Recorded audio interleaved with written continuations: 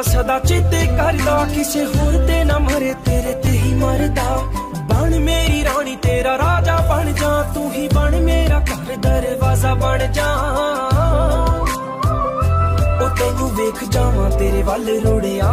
ਤੂੰ ਫੁੱਲ ਤੇ ਮੈਂ ਟਾਣੀ ਵਾਂਗੂ ਨਾਲ ਜੁੜਿਆ। ਮੈਂ ਜਦੋਂ ਤੇਰੇ ਖਾਬਾਂ ਵਾਲੀ ਰਾਤ ਤੁਰਿਆ, ਮੈਂ ਤੁਰਿਆ, ਬੜਾ ਨਾ ਮੈਂ ਤੋ ਜਾਵੇ ਮੁੜਿਆ।